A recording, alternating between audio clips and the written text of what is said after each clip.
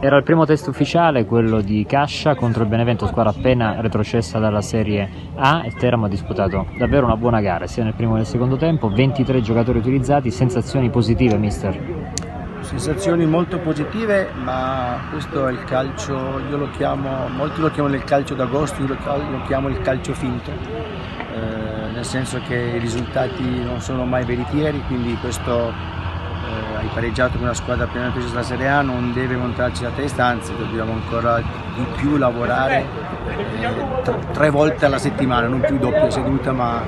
facciamo tre di sedute perché bisogna aumentare la quantità di lavoro. Eh, ho schierato due formazioni diverse nel primo tempo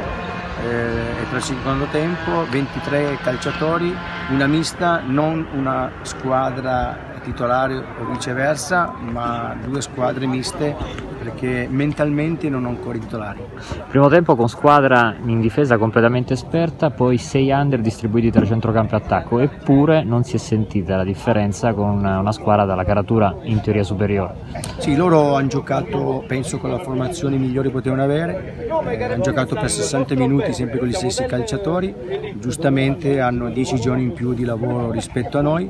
eh, noi siamo ancora in fase di costruzione, eh, è giusto non schierare ancora la formazione che potrebbe essere titolare alla prima di campionato e voglio dare spazio a tutti di partire dall'inizio per poter dare la possibilità a tutti di dimostrare il loro valore.